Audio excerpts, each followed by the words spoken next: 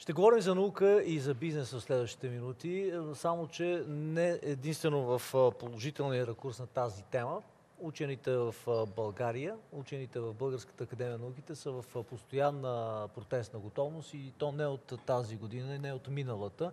Защо? Сега ще разберем от професор Илия Тодев, директор на Института за исторически изследвания към БАН и а, от Камен Колев от Българската стопанска камера. Господа, добро утро. Добро, добро утро. Нека да започнем всъщност от информационния повод, първи от които протестите на учените от БАН. Защо и смятате ли, че има връзка между бизнеса и науката? Както каза и самият финансов министр Борислав Горанов, той каза, че реално трябва да има инвестиции от бизнеса в науката, за което пък трябва да се погрижат учените. Ами, вижте, аз не смятам, че причината е в учените. Сега, а, ние избрахме 1 ноември, Ден на будителите, за да изразим нашето отношение. А, не за първи път, разбира се, то е добре известно, но ние избрахме деня, нали, така, символното значение на този ден. Искахме да събудим щати и обществото, и властта, и всички да събудим. Но на мен ми се струва, че тук е приложима а, така една а, поговорка на, на племето на Вахо, а, нали, който казва следното. А, не може да събудиш човек, който се прави, че спи. Ще си позволя обаче да, да, да цитираме финансовият министр, според него със средствата не трябва да се финансират структури и научни звена, а проекти обвързващи нуждите на държавата или с необходимостта на бизнеса. Ами вижте, това е прекалено екзотично мнение. Аз слушах внимателно интервюто и вчера сутринта и вече по повод нашия днешен разговор отново го прегледах по интернет интервюто. Е, много от е, така изказваните на министър Горанов у мене събудиха несъгласие. Например, е, няма никъде по света наука, която да се финансира само на проектна основа. Например, БАН, е, Българската академия на науките, е горе-долу структура от типа на френската СНРС, е, Национален център за научни изследвания. В е, Френския научен център учените получават своите заплати, тези заплати са достатъчно добри, и, а вече проектите са една допълнителна възможност. Допълнителна възможност и за изява, и за реализация, и за допълнителни доходи. че държавата търси начин? Какво е усещането в вашите среди, че търси начин да се отдръпне от финансирането на академията? Това ли ви притеснява? Всъщност. Ами да, да. А, мен ме притеснява това, че държавата не иска да ни чуе, не точно държавата, а, нали, конкретни хора. Не искат да ни чуят. Не искат Кои да са тези конкретни хора? Ами ето сега ще нали, конкретно За финансовите министри ли говорим, министър... защото имаше подобна драма и с един от бившите финансови министри. Да, с министър Дянков. Дянков да, да, да. Тоест, този ли е, това ли е министерство, с което имате най-сериозни разминавания? Аз не мисля, че е, правителството като цяло, изобщо е, тези, които е, държат ключовите позиции в парламента, власт имеещите, да го кажем най-общо, хората на властта, истаблишмента, нали, казано най-общо, би трябвало да е неясно как трябва да се финансира науката, каква е спецификата на научния труд и как тя трябва да се финансира. Аз отново ще се върна нали, към френския пример в Френския център за научни изследвания учените получават своите заплати и имат възможност да правят проекти. А тук непрекъснато за нас не се казва проекти, проекти, проекти. Никъде по света няма такава екзотика. Само чрез проекти да се финансират. Пари това е няма, е невъзможно. Действайте. Общо взето това е посланието, което дава държавата последните години господин Корев. Всъщност действайте. То това е към вас препоръка от последните няколко дни.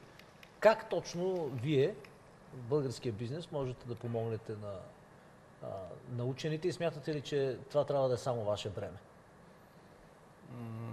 Връзката на науката с бизнеса е изключително важна. Ние знаем отговорността на предприятията, на бизнеса в финансирането на науката. Годишно около 300 милиона заделя бизнеса за научни изследвания. От тези 845 милиона годишно, които се харчат за научни изследвания, но ако говорим за бюджета за следващата година, включително и парите за наука, хронична слабост е това, че липсват цели. Какво, какво целим с разпределянето, образно казано, на тази баница от 37 милиарда за сигурност, здравеопазване, включително и за наука, научни изследвания. Така че по принцип не само, че липсват тези цели, какво трябва да постигнем, но липсва и механизъм, по който обществото да следи дали се постигат тези цели. Сега, по отношение на науката и по-конкретно на БАН, ясно е, че това е един микс на публично и частно финансиране. Публичното финансиране има своята роля, то дава по-прозрачни резултати, които се използват по-нататък за надграждане от частни инвеститори, но резерва, разбира се, е в частното финансиране, което се прави в една конкурентна среда и бързо води до реализация на пазара. Бързо и лесно и оттам и ефекта на тези реализуеми приложения е по-висок. Това, което ние в Стопанска камера пледираме и правим, е да съберем тези научни изследвания. Разбира се, те не са в хуманитарната област, там е необходимо отделно държавно финансиране и разбира се, те трябва да се е, специфицират. Дали да покриваме целия сектор от възможни изследвания или да концентрираме усилията в определени направления. Това е въпрос на БАН. Чувствате ли се ощетени вие хуманитаристите? Защото да, наистина инженерните, ядрените специалности със сигурност имат реално, директно приложение. Само да, да вметнем тук, че всъщност има сума, която ще бъде насочена към образованието. Тази година за БАН конкретно са отделени 472 милиона лева. Беше успорено това. Значи, има увеличение спрямо миналата да, година. Има ръст, известен да. ръст. Мисля, че седе около 73 милиона е финансиране. 78 милиона. Е а сега ще бъде 78. Да, да има някакво увеличение, което обаче в никакъв случай не е достатъчно. значи, необходимите средства за увеличение на заплатите в БАН са около 12 милиона. Аз цитирам нали, по памет цифри, които са изразени от, така са артикулирани от ръководни фактори в академията. Разбира се, специално ние, хуманитаристите, и специално българистите, се чувстваме, как да кажа, пренебрегнати от страна на държавата. Ние не можем да разчитаме на, на финансиране от бизнеса. Опитвали сме, аз лично съм опитвал, нали? не се получава. Грижа на държавата трябва да бъде, например, аз съм историк. Ето, тази година аз съм участвал, пък и не само аз и мои колеги, в три конференции за Априлското възстание. Сега, всеки ще се съгласи, че това е един продукт, нашите знания, които ние представяме на тези конференции. Полезен и необходим, защото никой няма да го спори. Е, той инвестира в културата, в съзнанието. Окей, да, така е. Да, и...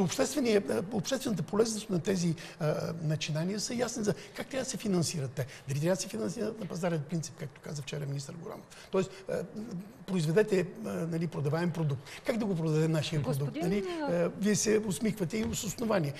Господин Това Колев, не става по такъв начин. Стигнахме до същината въпроса. Как науката тогава да заинтригува бизнеса за инвестиции? Вие имате ли визия за това нещо? Значи, Защото държавата, за това да. става дума. А, хуманитарната област или направление, ясно, че тя е преди всичко грижа на този етап на държавата. Но там, където има практически приложения, научните изследвания, там и мястото на бизнес. Това място ние го виждаме един път в участие в определене на самата тематика на изследванията в БАН. Тоест на ниво на тематика бизнеса трябва да участва, за да изрази своите предпочитания към едни или други изследвания, които на него му вършат работа. По-нататък, тези изследвания, които имат готовност за реализация, има такива и ние в Стопанска камера събрахме не само от БАН, от технически университети, от други научни звена, около 130 такива разработки с потенциално а, така готови приложения в различни сфери. Има ли вече резултати някакви? Разпределихме ги по сектори и направихме срещи с нашите браншови структури. Браншова структура, електротехника, машиностроение и така нататък. Такива структури имаме около 80. В резултат на това събиране на научните кадри с своите разработки и потенциалните приложители на тези разработки, около 15% от тези разработки продължиха да се изследват вече в конкретните условия на фирмата. Така че е, необходимо е точно тази връзка между науката и бизнеса това до някъде ние се опитваме да направим като стопанска камера. Към финала трябва да кажем колко вземат вашите служители а, като заплати.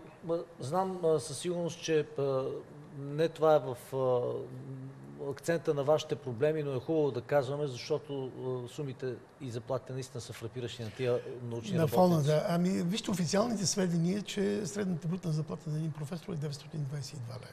На един доцент е 776 лева, на един главен асистент е 598 лева. Това са средните брутни заплати в академията. Всеки ще се съгласи, че те са крайно недостатъчни. Е, нали, изчислението е, че а, заплатите, средната заплата в БАН е с 200 лева по-малка от средната за страната, а в Селскостопанска академия с 250 лева. Според мен това, което би трябвало да се направи, просто съотношението между средната работна заплата за страната и за академията трябва да бъдат приведени в нормални Добре, и, и финално порядък. с две думи, какво правим от тук нататък? Ще излизате ли на още протести при положение, че твърдо заявявате, че тези пари не са достатъчни за вас? Определено не са достатъчни. Ще да, планира се, планира се на 16, доколкото знам, нов протест на академията, който ще бъде по същия начин, ще бъде цивилизован, ще бъде академичен. Ние ще искаме да убедим обществото, дано не се случи като в известното стихотворение на ЮНЕСКО, в което красивите и силни думи падат и умират в ушите на глухи. Господин Колев, на финал, как да задържим младите учени в България? Една рецепта от вас, като човек с бизнес мислене. Вижте, единият проблем е финансирането. Разбира се, той е важният Накратко, проблем. се, защото времето Има вече е източници. Това е новата програма Наука и образование. Това са двата фонда за научни изследвания, иновационния фонд към Министерство на економиката. Това е директно кандидатстване към европейските програми Хоризонт 2020. Така че тези, които успеят да се прикачат към тези програми, да успешно да кандидатстват, те могат да получават доста по-добри възнаграждения. Благодарим така че е необходимо фокусиране и активност. Благодарим ви за този разговор. Дано, дано все по-често се сещаме, че науката е слънце и да не забравяме, че и тези хора, които се занимават с изследвания в България, имат нужда от хляб на трапезата си. Професор Илия Тодев, директор на Института за исторически изследвания и Камен Колев от Българската стопанска камера.